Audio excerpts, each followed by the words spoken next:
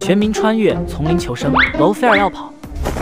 妈妈呀，这个人太可怕了，他好像已经发现我不对劲了，惹不起惹不起，还是快点溜吧，回到我的树屋，他应该就拿我没办法了。然而，当他来到藏背包的丛林中时，整个人都亚麻呆住。哼哼，他怎么会在这里？那是我的背包，还有我的树屋手表，怎么会在他的手里？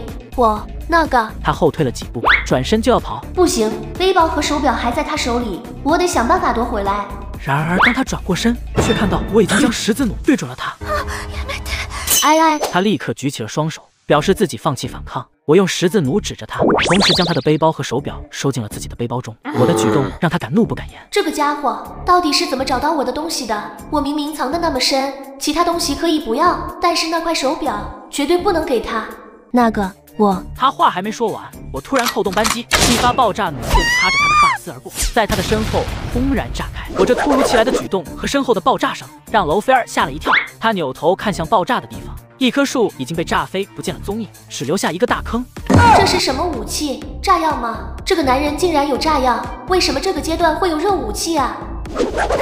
我迅速又装了一支爆炸弩箭，指着他：“你出来做什么？回树屋吧，我想和你聊聊人生。”他向后退了一步，露出不可思议的表情。那个，在这里可以吗？我还没试过野外。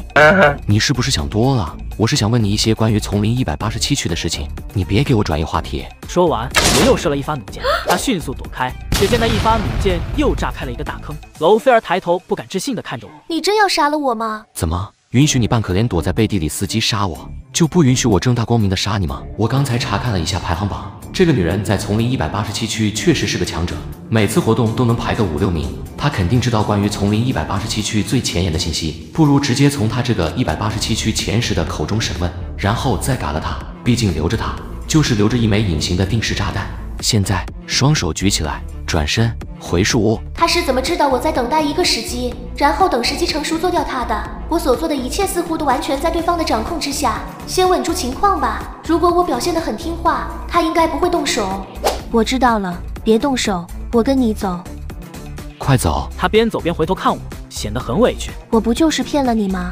也没对你做什么吧？我其实只是路过这里。看到这里的树屋高，我就知道这里的生存者非常厉害，想装装可怜，讨要一些你不要的东西，并没有什么其他的意思。说完，眼眶里又泛起了泪花。不知情的还以为我在欺负小姑娘呢。我要是弄死这个生存者，拿下这个树屋，将这棵树屋种回我的保护区，一棵就顶你们十棵。娄菲儿身体猛地一颤，停住身体，一脸不可置信的回头看着我。这个人定力这么强，不会是不行吧？莫非他喜欢男人？我。我为什么我的话全被这个人听到了啊？从一开始他就知道了我的计划了吗？从一开始他就在知道实情的情况下欣赏着我的表演吗？他万万没想到自己刚刚在我面前那么卖力的表演，原来只是一场被人观赏甚至评头论足的猴戏。娄芬儿的脸上露出了羞愤又屈辱的表情，瞬间不说话了。他跟着我乖乖的回到了寄生树屋零一，回来后一直坐在那把木椅上一言不发。他一想到刚才的表现，就想挖个地洞钻进去。丢人，实在是太丢人了。我问什么你就答什么，知道吗？我知道了。如果我回答了，可以把我的手表还给我，放我走吗？我也没伤到你一根汗毛。那要看你的表现了。回答的好，我自然会考虑的。不过我对你的身体很感兴趣，在走之前。我知道了，果然男人都是大猪蹄子。这当然是我伪装的，只有这样给他生的希望，然后再给他杀死我的机会，他才会说些有用的。这个女人不能留，如果不是我听力增幅的加持，我恐怕会中了她的美人计，最终折在她的手里。接着我便开始审问起她来，姓名。娄斐儿，性别男。我掏出十字弩对准他。你的好吧？你这家伙一点玩笑都开不起吗？我死了，你还怎么对我？你难道想？打住，别扯远。我问什么你答什么。年龄二十五。那个，我能不能问一句，大佬，你是哪个区域的？丛林幺八八。一百八十八区排名第一的大佬，莫非是十三？当初暴雨季活动可是全服排名第一、第二都是一百八十八区的，我的名字几乎无人不知、无人不晓。妈妈呀，我的运气也太差了吧！直接踢上最硬的一块铁板啊，不是钛合金板。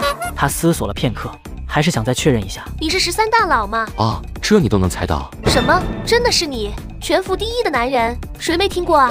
我超级崇拜你，没想到今天居然能见到你。话说，人家想跟你生猴子。他话还没说完，我就用十字弩顶住了他。坐下。收起你那浮夸的演技，在我这里没用。